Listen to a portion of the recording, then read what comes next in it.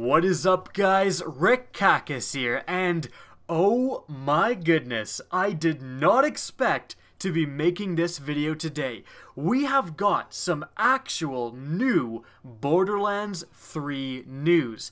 And I'm talking substantial news. Not an offhand tweet from Randy Pitchford, not a rumor. We're talking screenshots. We're talking actual, substantial, official Borderlands 3 news. And this has not happened pretty much ever.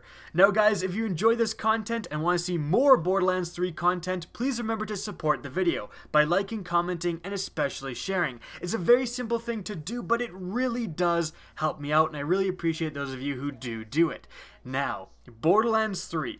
I love the Borderlands franchise. I mostly do Destiny now, but the reason I got into uh, loot-based first-person shooters was because of Borderlands. Played the crap out of Borderlands 1, played the crap out of Borderlands 2, and even played the crap out of Borderlands the pre-sequel. However, lips have been sealed for the most part involving Borderlands 3.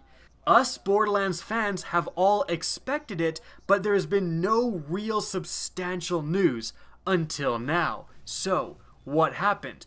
Well, out of the blue, Randy Pitchford and other members of the Gearbox team hosted a presentation at GDC Game Developers Conference 2017, and they showed off a tech demo for Borderlands 3. They didn't call this the Gearbox tech demo, they called it the Borderlands 3 tech demo. So, again, official news here.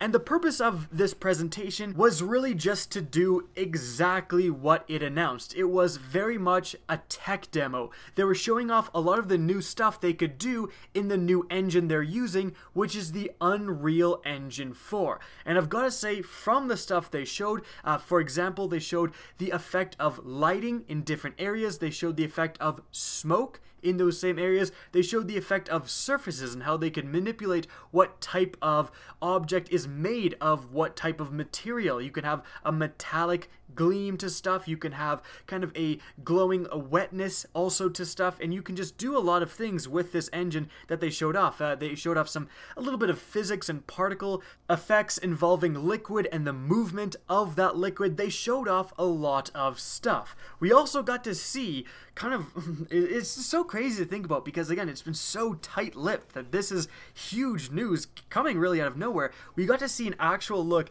at a borderlands 3 character model. Now this isn't a Borderlands 3 character, this isn't one of the new Vault Hunters, but it's a model that they're using when they're making Borderlands 3. So we got to take a little bit of a look on that. So it's very much maintaining the same classic Borderlands style. I would say it looks better, absolutely looks better than Borderlands 2. So it's Borderlands 2 upgraded without, again, without abandoning at all that classic Borderlands style. You still have the very sharp cel shading, you have the very sharp edges and stuff, and it just screams Borderlands. And we also got to see at the very end of the presentation, they kind of zoomed out, and I'm showing you guys this now in the background gameplay, and you could see just the, the character with the environment, and it's just making me crazy. It's just, ah, I want Borderlands 3 to come out so bad because this just is exactly what I want to see. So, what does this mean for you as a Borderlands fan? Well, again, this is big news because it's the first anything of substance we have gotten about Borderlands 3. And what it really means is that they're working on the game. Now, I know that isn't huge news and that is something that we already did know from Randy Pitchford. He said, look, Borderlands 3 is coming, you can expect it sometime in the future but this showcases that they are at a certain point within the development. They have the, all of this technology in terms of what they've been working on in particle physics and lighting and shading all of that stuff in materials, in objects. It's just so much stuff they showed off today.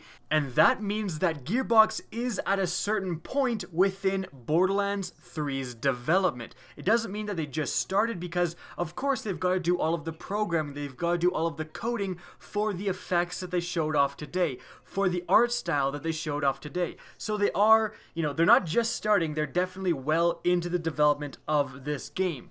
With that being said, Randy Pitchford did say uh, also, if you're a customer that's looking forward uh, to a future Borderlands game, we we we're working on it. Uh, we'll, we'll, get, we'll get you soon. So, I mean, he said soon. He said it's coming soon. So, Borderlands 3 2017?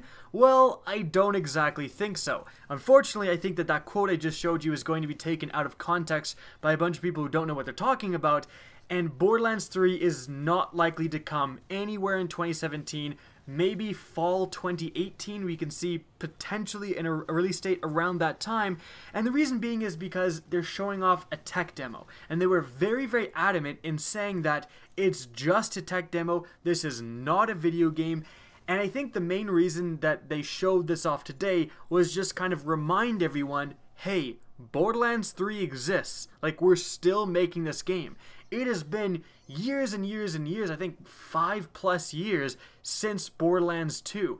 And so Borderlands fans are kind of getting impatient. Borderlands 2 and Borderlands the pre-sequel still see play. There's still people streaming like Borderlands 2 permadead runs and all of this stuff. So it definitely still does have a, a live community, but it's really withering as of late. And of course, as each new game comes out, Mass Effect, um, even Call of Duty is coming out, Battlefield's coming out, you're kind of siphoning off different chunks of that community. So it's very important for them to do something like this and just to kind of keep it fresh in everyone's mind. Because of course we're all talking about this now. But again, the fact that they're showing a tech demo, and not only that, but a tech demo that focuses on, you know, particles and lighting and stuff like that, rather than interesting interactions. It would have been a little bit more telling if they showed uh, the different ways that ragdolls would be affected, the different ways that um, elements would make splashes when they're shots, that how guns would work in the game, how reloading would look in certain, certain lighting and stuff. They could have showed off a lot more assets within the game. And the fact that they didn't show that, that we just saw one character model, that we saw some pretty baseline environments, that we didn't see any massive environments, we didn't see any parts of the actual game, says to me that they aren't that far along in development. They're certainly somewhere in the middle of development, but they aren't ready to release again anywhere in 2017. And that, that's just my opinion, but you know, that's what uh, the evidence is really telling me. Now, with all of that being said, this is definitely some good news for Borderlands fans. It kind of shows that Gearbox is now shifting their focus onto Borderlands 3 after a you know, ill-advised attempt to make Battleborn. And that, that game just did not pan out. It was actually a pretty fun game, just Overwatch killed it. So Borderlands will hopefully bring Gearbox back to the forefront. I'm sure Gearbox, after taking a probably financial hit on Battleborn, it just didn't do that well. They're looking in to dig their heels in and to make a game that will absolutely be profitable for that studio, which will be Borderlands 3. That game will sell like hotcakes pretty much no matter what's in it. And so guys, I hope you enjoyed this video, found it informative, and if you did, please remember to help me out by simply rating and especially sharing this video. If you guys want to see more Borderlands 3 content in the future, don't be afraid to slap that subscribe button. And if you actually want to be notified of new uploads, be sure to press the bell beside subscribe. If you guys want to get in touch with me and keep up to date with the latest channel activity, the best way is to follow me on Twitter at RickKackis. That's linked in the description down below, as is my Twitch channel, which you can also follow. Again, I hope you enjoyed the video, and as always, have a good day.